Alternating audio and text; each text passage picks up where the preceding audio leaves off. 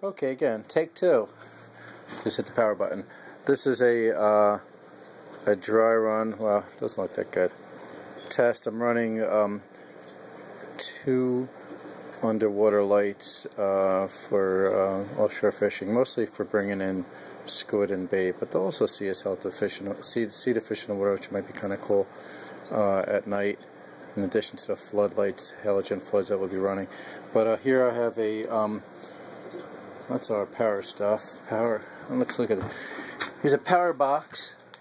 That's a like a little battery box, on those jump start machines, um, and that is running DC out, like a 12 volt DC out right there, and that feeds um, one light which is running, which is an AC powered light that has a DC right there. That's that's a converter to AC and that's a DC uh, little transformer which outputs 12 volts and that black wire runs all the way into the bucket. And that is a in the bucket that's a 20 watt halogen underwater spotlight. The other guy you see wow the halogen spotlight just popped up. That guy has to stay underwater. Um, let's take a look at it right now. If we get a chance to look at it see it bright. Uh, that's pretty bright. I don't know. Let's stick it under there and try to stick it to the wall. It's got suction cups and also has some little, like a little rod holding posts. I'm not sure how we'll stick it on the boat, but we gotta keep it underwater. Um, this guy here, it's a 10 watt submersible LED floodlight. Uh, that thing is really bright too. I mean, it almost seems brighter than 20 watt halogen, but um, I don't know. Even if you look in the bucket, man, the LED like fills all the bucket with light, and the halogen, I don't know, it looks kind of lame down there. I don't know.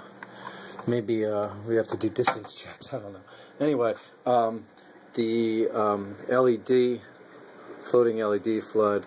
Uh, that is a DC light so here's its wire here, blah, blah, blah. It's like an old extension cord.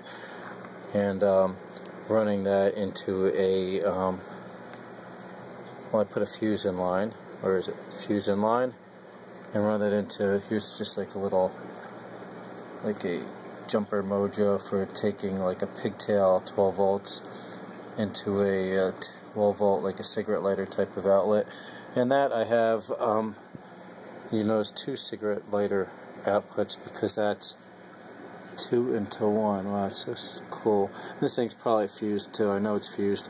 So we got one fuse there, we got another fuse there, and uh, start this bubby up, and we're going to see how long it runs. Uh, hopefully, ideally, it will run, you know, five or six hours with 30 watts on that uh, little battery pack.